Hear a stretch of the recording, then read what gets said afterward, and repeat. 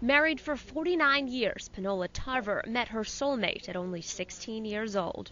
I just know love at first sight. Mm-hmm. but their love story ends tragically. From here, Panola wants her son Michael to do the talking. Get on his bicycle, ride, go fishing every just about every other day. He tells us about the morning a few weeks ago when his father collapsed on the floor of their Fort Myers home with chest pains.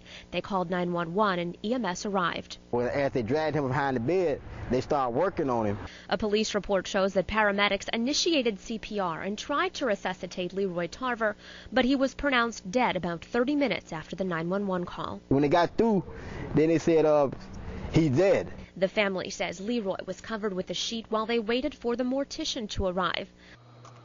Horace Barrett will never forget that day when the body he was there to pick up began twitching and gasping for air. He ran to get Panola. And I told her that he's not dead. He's not ready for me yet. The Tarvers thought they had been blessed with a miracle, calling 911 again, almost two hours after paramedics initially pronounced Leroy dead. That time, he was rushed to the hospital. His family tells us Leroy had a heart attack.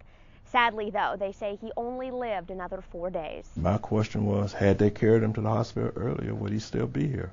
And that's the question the Tarvers say will haunt them forever. If they would have took him to the hospital the first time, he'd have been here today. Lee County EMS could only say that they're aware of the situation and it's being investigated internally.